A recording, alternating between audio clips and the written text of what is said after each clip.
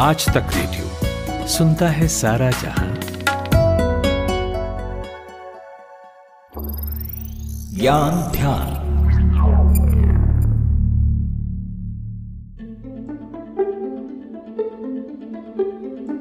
पंद्रह अगस्त उन्नीस को भारत जब आधिकारिक तौर पर आज़ाद हुआ, तब भारत एक और हिस्से में बढ़ चुका था, और वो हिस्सा था पाकिस्तान का। पाकिस्तान को देखने के आपके कई नज़रिए हो सकते हैं। एक देश जिसने धर्म के आधार पर खुद को अलग किया, संवैधानिक सरकार बनाने को लेकर लगातार जूझती रही।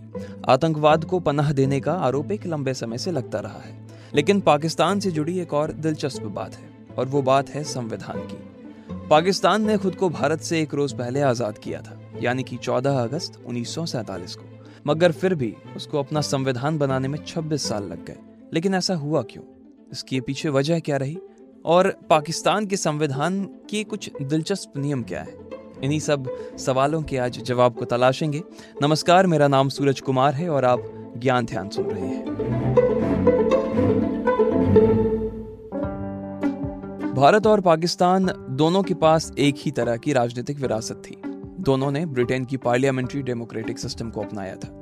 पाकिस्तान के संस्थापक मोहम्मद अली जिन्ना ने भी नेहरू की तरह ही अपने सभी नागरिकों के लिए धार्मिक स्वतंत्रता का सपना देखा था। मगर पाकिस्तान के बनते ही ये देश अपने कॉन्ट्राडिक्शन में फंसता चला गया। एक और भारत 1950 में लिखित संविधान अपनाकर एक रिपब्लिक बन गया।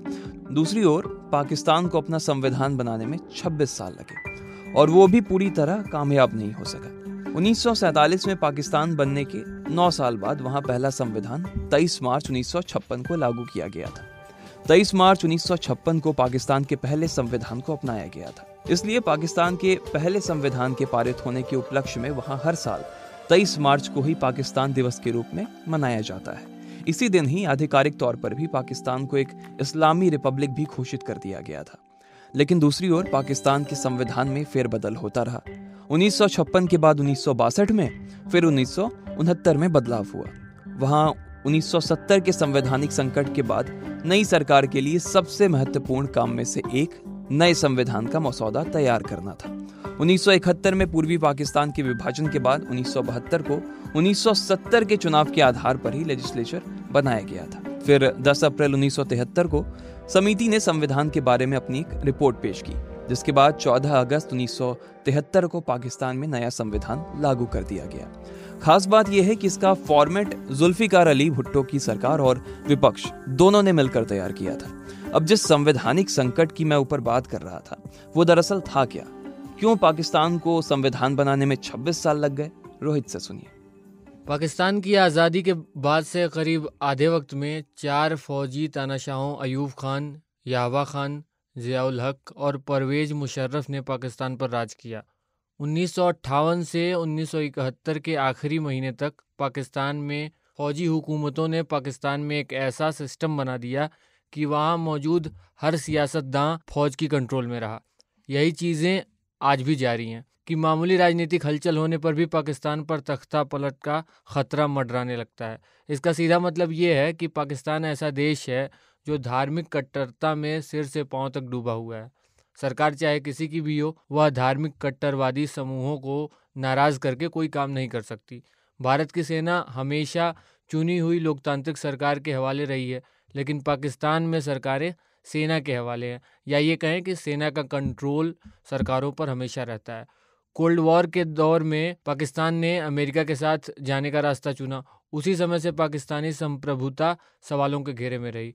लेकिन खास बात वहाँ की मिलिट्री पावर ही रही, जिस कारण लोकतांत्रिक सरकार नहीं चल पाई और संविधान बनाने में लगातार दिक्कतें आती रहीं। पाकिस्तान का संविधान भारत के संविधान से कई मामलों में अलग है। सबसे पहले बात वहाँ के मुख्य न्यायाधीश की नियुक्ति की करते हैं। पाकिस्तान के मुख्य न्यायाधीश की नियुक्ति में पाकिस्तान सरकार की कोई भूमिका नहीं होती। वहाँ के संविधान में यह साफ़ साफ़ कहा गया है कि राष्ट्रपति सर्वोच्च न्यायालय के वरिष्ठम न्यायाधीश को पाकिस्तान के मुख्य न्यायाधीश के रूप में नियुक्त करेंगे, जबकि 2015 में भारत के सुप्रीम कोर्ट ने राष्ट्रीय न्यायिक नियुक्ति आयोग का गठन किया था, जिसका पर्पस सुप्रीम कोर्ट के जजों की अपॉइंटमेंट और ट्रांसफ़र का निर्णय लेना था। अब बात वहाँ के प्रधानमंत्री की करते हैं।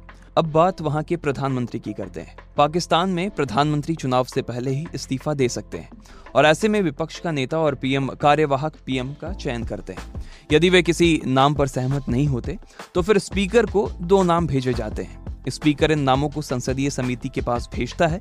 इस समिति में सत्तारूढ़ और विपक्षी दलों का बराबर रिप्रेजेंटेशन होता है। वहाँ के जो उम्मीदवार खड़े होते हैं, उनका एक अलग पैरामीटर भी सेट किया जाता है। पाकिस्तान के चुनावों के लिए मुस्लिम उम्मीदवारों को अच्छे चरित्र, बुद्धिमान, धार्मिक, ईमानदार और गैर लाभकारी होना चाहिए। साथ ही उन्हें इस्लाम का पर्याप्त ज्ञान भी होना चाहिए, जबकि भारत में उम्मीदवारों का चुनाव कानूनी तौर पर होता है, ना कि धार्मिक तौर पर। आरक्षण की बात करें तो पाकिस्तान की नेशनल असेंबली की कुल 342 सीटों में से दो सौ बहत्तर सीटें चुनावों से भरे जाते हैं और आठ सीटें महिलाओं के लिए आरक्षित होती हैं। दस सीटें धार्मिक अल्पसंख्यकों के लिए आरक्षित होती हैं। संविधान के मुताबिक पार्टियों को सामान्य सीटों में से पाँच फ़ीसदी टिकट महिला उम्मीदवारों को देना होता है। और अगर किसी भी कंस्टिट्यूएंसी में 10 फ़ीसदी से कम महिला मतदाताओं ने अपना वोट डाला है तो नतीजा शून्य माना जाता है। मगर भारत में इस तरह का कोई भी नियम एग्जिस्ट नहीं करता है। तो ये थी पाकिस्तान के संविधान और उससे जुड़े कुछ दिलचस्प नियम। हमें उम्मीद है कि आपको आज का ज्ञान ध्यान पसंद आया होगा। आपको ये एपिसोड कैसा लगा हमें ज़रूर बताएँ। कोई और विषय हो जिस पर आप ज्ञान ध्यान सुनना चाहते हो तो हमें मेल कर सकते हैं। रेडियो एट द रेट आज तक डॉट कॉम हमारा पता है। सुझाव और शिकायत के लिए भी इसी पते का आप इस्तेमाल करिएगा। मेरा नाम सूरज कुमार है। अब इजाज़त दीजिए। सुनते रहिए आज तक रेडियो